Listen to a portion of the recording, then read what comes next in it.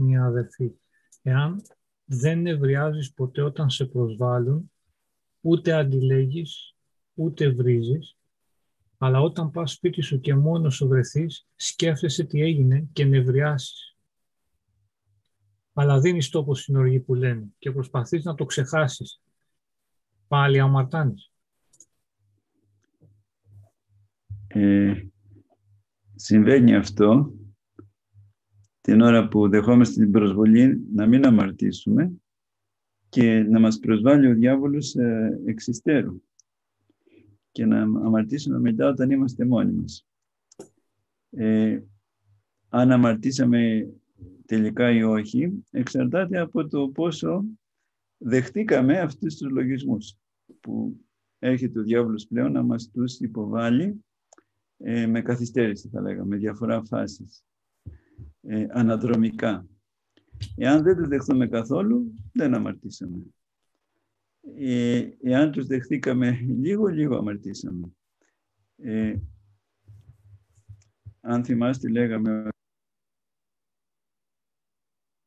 να προλάβει ε, την οργή σε όποιο επίπεδο ε, βαθύτερο ε, μπορεί να την προλάβει. Η οργή ξεκινάει βέβαια από το βάθος της ψυχής, από το θυμικό. Ταράζεται το θυμικό, ταράζεται όλη η ψυχή και μετά ε, αρχίζει να ταράζεται και το σώμα, να τρέμει και το σώμα. Και ο άνθρωπος πλέον μετά, ε, εάν δεν σταματήσει την ε, πορεία, την βλαπτική αυτή και δραματική, έτσι, κακή πορεία του θυμικού εξτομίζει λόγια που δεν πρέπει και ακόμα περισσότερο, αν δεν σταματήσει και εκεί, στο επίπεδο των λόγων, ε, μπορεί να προχωρήσει και σε χρήση ε, των χεριών, έτσι, του σώματος, να φτάσει να πλήξει, να χτυπήσει ή ακόμα και να φωνεύσει ή να καταστρέψει. Ε, σε όποιο επίπεδο νωρίτερα μπορέσουμε να σταματήσουμε, τόσο λιγότερη θα λέγαμε είναι και η αμαρτία. Ε, ένα καλό ας πούμε φάρμακο, το είπαμε και άλλη φορά, για να μην αμαρτήσουμε είναι η σιωπή. Και να σταματήσουμε αμέσως δια της νοεράς καρδιακής έντονης ε, επίκλησης του Θείου Ονόματος την ταραχή μέσα στην ψυχή μας. Εκεί που έρχονται οι λογισμοί, τα κύματα αυτά της οργής μέσα σου και σε ταράζουν και γίνεται όπως λέμε λαϊκά χαμός μέσα μας, εκείνη την ώρα εμείς περιφρονούμε όλα αυτά, τα δαιμονικά έτσι, τους δαιμονικούς λογισμούς που μας ταράζουν και στρεφόμαστε στον Θεό. Και με ταπείνωση πολύ, με συντριβή, με έντονο έτσι, ε, ε, ε, εσωτερική φωνή, καρδιακή φωνή, με τον εσωτερικό λόγο που έχουμε, γιατί εκτός από τον έναρθρο λόγο, έτσι που έχουμε, έχουμε και τον ενδιάθετο λόγο, όπως μας λένε οι πατέρες, την εσωτερική φωνή. Και με αυτή τη φωνή, αλλά γιατί όχι και με εξωτερικό λόγο, μπορούμε να φωνάξουμε στο Θεό. Κύριε Ιησού Χριστέ, ελέησόν με και να το πούμε πολλές φορές μέχρι ότου να ειρηνέψει η ψυχή μας. Και έτσι εξαλείφουμε ε, το πάθος αυτό που πάει να κινηθεί μέσα μας. Όπου λοιπόν νωρίτερα το προλάβουμε, τουλάχιστον να το προλάβουμε στο επίπεδο των λόγων, έτσι να μην πούμε λόγια. Ε, είναι καλύτερα. Ε, αν μία φορά το καταφέρουμε αυτό, τη δεύτερη φορά θα είναι πιο εύκολα. Και σιγά σιγά θα φτάσουμε να μην ε, ταραζόμαστε καθόλου όταν δεχόμαστε τέτοιες ε, προσβολές λογισμών θυμού και οργής. Πάλι βέβαια αμαρτάνουμε έτσι και όταν οργιζόμαστε μόνοι μας. Και ίσως αυτό να είναι και λίγο πιο βαρύ. Ε. Έχουμε ανθρώπους που ε, μαλώνουν μόνοι τους ε, στην κυριολεξία και μιλάνε μόνοι τους πολλές φορές οργισμένα γιατί, γιατί ξαναζούν αυτό το, αυτή την προσβολή που έπαθαν, έτσι, που υπέστησαν από τον συνάνθρωπο, το ξαναζούν και βρίσκουν και λόγια που θα μπορούσαν να το πούν και μέσα τους βράζουν ε, και λένε να τον ξαναδώ πάλι να του πω και αυτό, γιατί να μην του το πω και αυτό, ε, όταν υπήρξε ας πούμε η συνάντηση η, α, και η διαμάχη.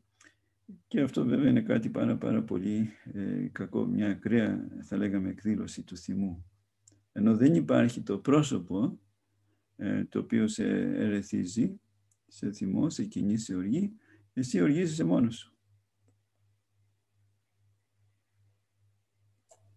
Μία άλλη αδερφή μας ρωτάει, ε, ο οργισμένος άνθρωπος επιδιώκει να πληγώσει και τους άλλους και αρέσκεται να βλέπει και τους άλλους θυμωμένους ή να κλαίνε και να στεναχωριούνται; Γιατί, προχωρεί σε μια παρατήρηση που έχει κάνει, όσο λέει μένω ήρεμη, ο θυμός τους εντείνει. Μόλις όμως θυμώσω κι εγώ ή στεναχωρηθώ και κλάψω, πέφτει το μένος τους. Γιατί γίνεται αυτό; Ναι, ο, ο θυμώδης άνθρωπος, έτσι, ο οργύλος άνθρωπος, ε, όταν αντιμετωπίσει ε, έναν άνθρωπο ήρεμο, πράο, ε, ταπεινό, ε, κατά κανόνα ε, δεν οργίζεται περισσότερο, έτσι, ε, αλλά ηρεμεί, πέφτει ο θυμός του. βέβαια, θα έτσι η πραότητα να μην είναι ε, αποτέλεσμα υπερηφάνειας, περιφρόνησης, ε, αναισθησίας, κακής αναισθησίας, αλλά είναι αποτέλεσμα αληθινής πραότητας και εσωτερικής ηρεμίας. Τότε βοηθιέται ο αδικών, έτσι, ο, ο οργιζόμενος να καταπραγηθεί, να ηρεμήσει. Οπότε ε, σταματάει η διαμάχη. Ε, μπορείτε να το δοκιμάσετε και θα δείτε ότι έτσι λειτουργεί. Όταν εκείνος που έχει οργιστεί αρχίζει να ανεβάζει τον τόνο της φωνής του, ε, αν εμείς το απαντήσουμε με ηρεμία, με καλοσύνη, με πραότα, με ειλικρίνεια όμως έτσι και όχι υποκριτικά, ε, θα δούμε πως αμέσως και αυτός καταστέλλεται, ε, ηρεμή. Έτσι. Ε, αν ε, η σιωπή μας ε, τον κάνει να θυμώνει περισσότερο, πρέπει να ψάξουμε στον εαυτό μας μήπως η σιωπή μας είναι αποτέλεσμα καταφρόνησης του άλλου. Οπότε το αισθάνεται η ψυχή του άλλου και γι' αυτό ακόμα περισσότερο οργίζεται. Είναι αποτέλεσμα περιφρόνησης, είναι αποτέλεσμα αλαζονίας, περηφάνειας. Από την άλλη βέβαια πλευρά, ο, ο οργιζόμενος, ο αδικών, ε, ε, όταν ας πούμε έχει απέναντί του κάποιον ο οποίος είναι εμπαθής και οργίζεται και αυτός, ε, θα λέγαμε σε ένα βαθμό χαίρεται, όταν, ε, γιατί χαίρεται ο διάβολος βέβαια, ε, όταν βλέπει και τον απέναντί του να παθαίνει το ίδιο που έχει πάθει και αυτός, να χάνει τον έλεγχο δηλαδή. Και τότε βέβαια ο καυγάς ε, θα έλεγα ότι γίνεται πολύ μεγαλύτερος. Υψώνει τόνους ο ένας, υψώνει τόνους και ο άλλος και έτσι τα πράγματα εκτραχύνονται. Εάν βέβαια ο πρώτος έχει κάποια ακόμα ε, στοιχεία σύνεσης, δεν έχει χάσει τελείως τις φρένες του και τη λογική του, όταν δει και τον απέναντί του να υψώνει τόνους, υπάρχει και μια ελπίδα, αυτό που είπατε, να κατασταλεί ο θυμός του πρώτου δεν είναι πάντα τα πράγματα έτσι, ε, θα λέγαμε, μονότροπα. Εξαρτάται από την κατάσταση την πνευματική και του ενός και του άλλου. Και το, και το κατά πόσο έχει χαθεί ο έλεγχος ή υπάρχει ακόμα έστω ένας έλεγχος, ένας αυτοέλεγχος, μια αυτοσυγκράτηση και στον ένα και στον άλλο. Αλλά γενικώς κατά κανόνα ε, ισχύουν νομίζω αυτά που είπαμε, ότι αν αντιμετωπίσουμε τον αδελφό μας με σιωπή, με ειλικρινή σιωπή και με αγάπη ή με πολύ πολύ χαμηλούς τόνους, ε, ο θυμός του καταστέλλεται, δεν, ε, δεν υψώνεται. Βέβαια μπορεί να πει, ε, σε πρώτη φάση, να πει ότι α, είσαι εγωιστής, είσαι περήφανος, υποκριτής, μας το, κάνεις και, μας το παίζεις και καλός και πράος. Αν εσύ επιμείνεις όμως στην πραότητα, και τον πείσεις ότι είναι ειλικρινή η πραότητά σου, έτσι και όντως είσαι πράος, θα σταματήσει. Ε; Δεν μπορεί να μιλάει μόνος του και να θυμώνει μόνος του. Εκτός πια αν έχει τελείως χάσει τον έλεγχο. Μια άλλη αδερφή πάτερ η οποία υπηρετεί σε, σε δημοτικό στην Αθήνα ως γυμνάστρια μας ρωτάει ότι ο θυμός των παιδιών ξεσπάει πολλές φορές με ελεκτική και καταλήγει και σε σωματική βία με μίσος, βάζουν απίστευτο μίσος στα παιδιά. Και από τη θέση της σαν ε, γυμνάστρια παιδαγωγός παρασύρεται επίσης και με θυμό τα αναγκάζει να ζητήσουν συγγνώμη. Πώς να το χειριστεί; Ναι, τα παιδιά έτσι που είναι ε, τα λέγαμε έτσι από όλες τις ε, κοινωνικές τάξεις, ε, καταστάσεις ε, οικογενειακές κλπ. Είναι ένα δείγμα όλης της κοινωνίας. Ε. Είναι ένας πολύ καλός παιδαγωγός μας. Αν έχουμε αυτό που λέει ε, ο Άγιος Ιωάννης Κλίμακος, αυτή την έφεση για την ατιμία, θα έχουμε να κερδίσουμε πάρα πολλά. Ένας εκπαιδευτικός δηλαδή μπορεί να προχωρήσει πάρα πολύ πνευματικά όταν είναι διατεθειμένος έτσι να δεχθεί όλες αυτές τις προσβολές, τις αδικίες έτσι που θα του κάνουν οι μαθητές του.